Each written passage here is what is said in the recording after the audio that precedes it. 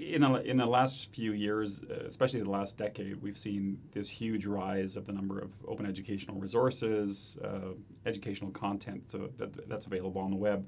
In the, in the past few years, we've also seen the rise of massive open online courses. So, open education really describes the ability to leverage some of the, the many open educational resources or experiences that we're finding available on the web.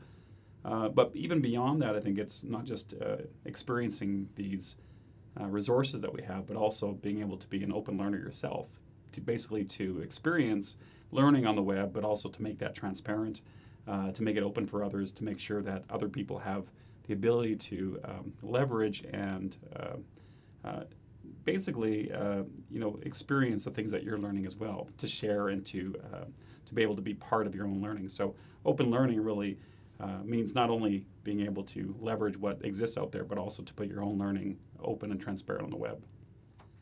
So open learning is already happening in, in K-12 environments. We're seeing more and more students uh, through informal environments starting to actually make their open, uh, learning open. So we're seeing students who are learning perhaps not things that they're always learning in school, but whether it's skateboarding or whether it's a Pokemon walkthrough video, uh, students are creating things, whether it's, uh, again, photography or a number of things that they're interested in, making their learning available on the web. The, the problem with schools, though, is that uh, many students are doing this without the help of with schools. They're doing it without the help of their families.